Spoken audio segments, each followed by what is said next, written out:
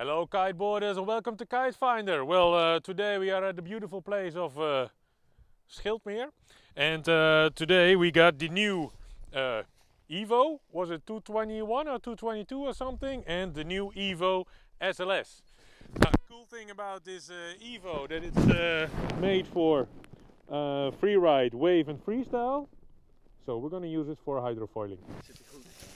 Oh, so we have to redo the unwrapping because unwrapping videos are really cool on YouTube. So, uh, so we do, uh, so we do it like this. Let's see what's inside.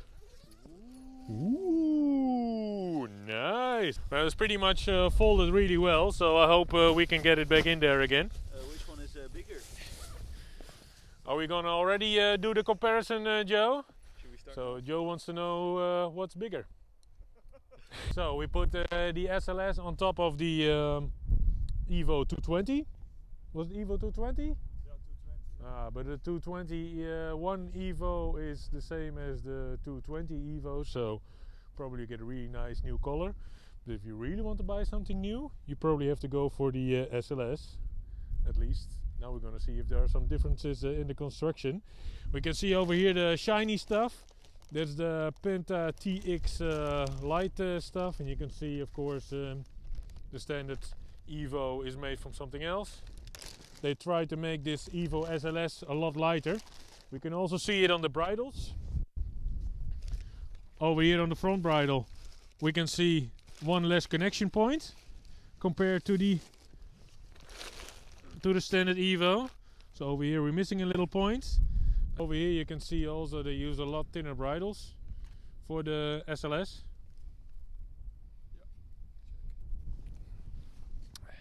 And when we go to the struts, we can see over here we have the flex struts.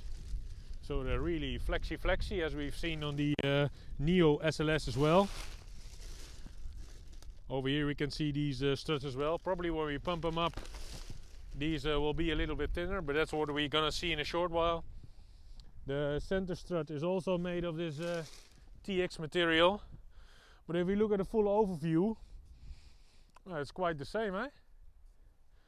Quite the same size. So, uh, well, let's do some pumping. So at uh, Duotone, they really like to care of, uh, about the environment. So they put all these uh, plastic and all this uh, paper stuff on your kite. So uh, at least uh, it's a really environmental friendly. So the cool thing is with Duotone, if you send home all the packaging they put on a kite, they will send you a new kite bag.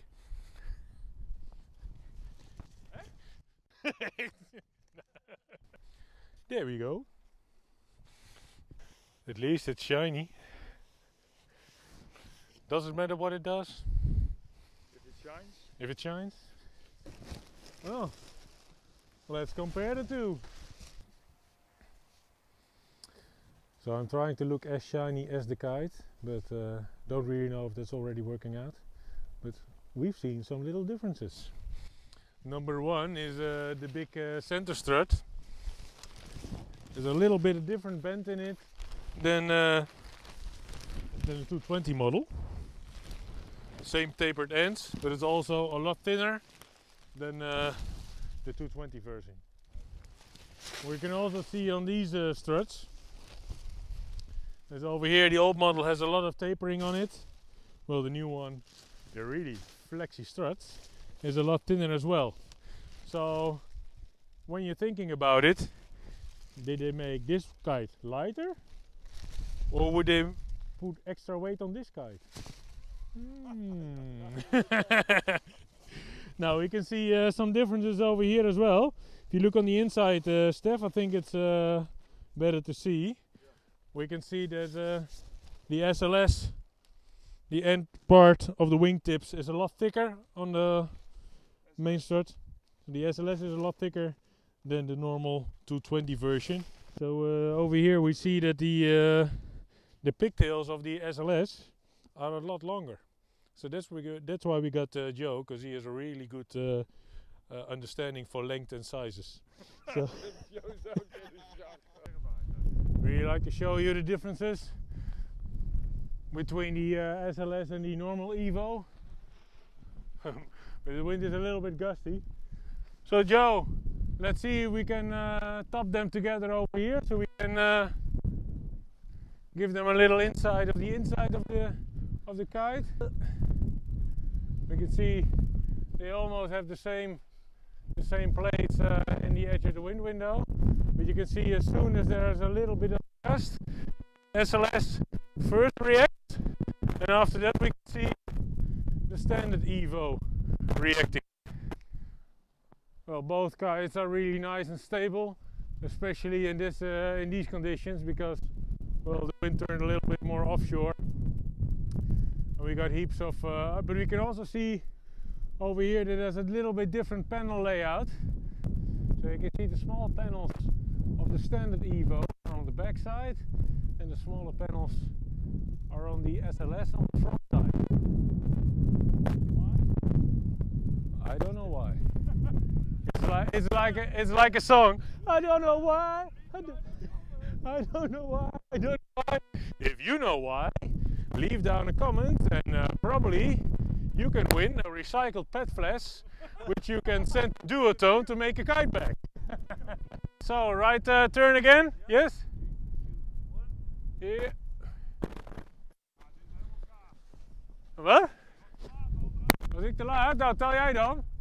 3, 2, 1, nu!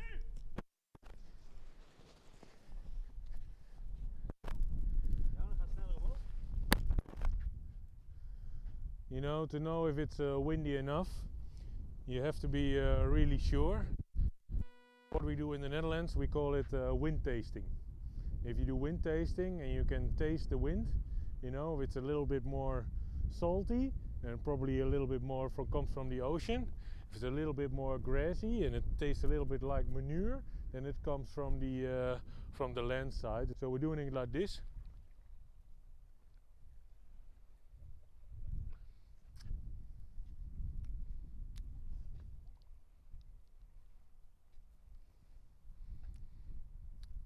Tastes also a little bit cheesy, so that means it comes from the Kollum direction. Kollum is a little bit north northwest from here, so uh, that's how I know it's a really great wind.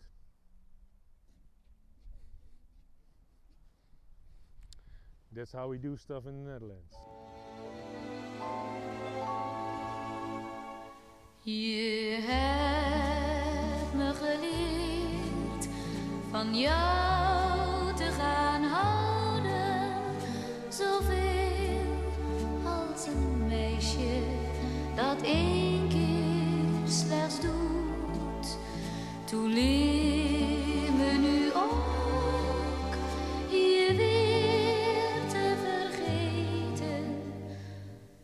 Of kom weer terug, dan is alles weer goed. So today we tested uh, both kites, and uh, Joe and I uh, just concluded uh, our final uh, kite uh, tasting of today.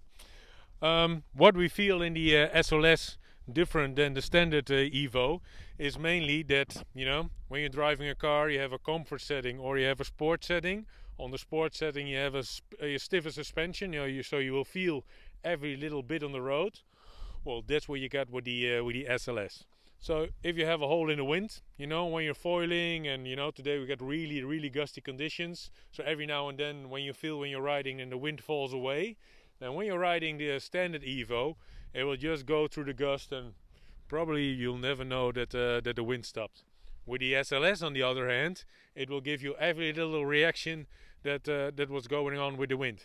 So as soon as the wind falls away, you will feel it. Now, Joe uh, says that probably that's really great for Big air. big air. So uh, so Joe thinks that you know when you're riding and when you really need uh, to pick that little gust, then especially at the start of the gust, you can feel it on the SLS and probably you can pop it. We don't know yet, but that's a theory. Now, when you look at the SLS, what it's made for, it's uh, freestyle, wave, and free ride. So we use it for the only thing that isn't uh, that it isn't made of. we tried it with foiling today. So, so, but we are really anxious to know what you think of the uh, Evo uh, 220, the standard Evo, compared to the SLS. So please leave it down in the comments and uh, help other kiteboarders um, to make the right choice for the right gear.